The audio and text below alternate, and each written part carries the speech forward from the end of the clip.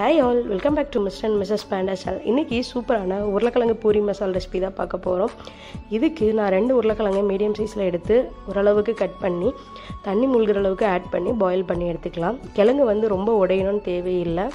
நசுங்குனா போதும். பூரி கிழங்கு மசாலாக்கு எப்போவுமே பூரி கிழங்கு வந்து ரொம்பவே குலைவாக இருக்கக்கூடாது. இப்போ தாளிப்புக்கு ஒரு பேனில் ஆயில் ஆட் பண்ணதுக்கப்புறமா கடுகுளுத்தம் பருப்பு போட்டு பொரிஞ்சதுக்கப்புறமா கடலைப்பருப்பு ஒரு டேபிள் ஸ்பூன் ஆட் பண்ணிக்கிறேன். கடலைப்பு கடலைப்பருப்பு பொரிஞ்சதுக்கப்புறமா ஒரு சின்ன பீஸ் இஞ்சி பொடியை கட் பண்ணி வச்சது. காரத்துக்கு பச்சை மிளகாய் கூடவே ஒரு மீடியம் சைஸ் வெங்காயம் த பொடியாக கட் பண்ணது. அதுக்கப்புறமா ஒரு சின்ன பீஸ் வந்து தக்காளி ஆட் பண்ணிக்கிறேன். தக்காளி ஆட் பண்ணதுக்கப்புறமா கறி லீவ்ஸும் இதுக்கு தேவையான மஞ்சள் தூள் உப்பு போட்டு நல்லா வதங்கட்டும். வதங்கினதுக்கப்புறமா வேக வச்ச கிழங்கு வந்து நம்ம அதில் ஆட் பண்ணிக்கலாம்.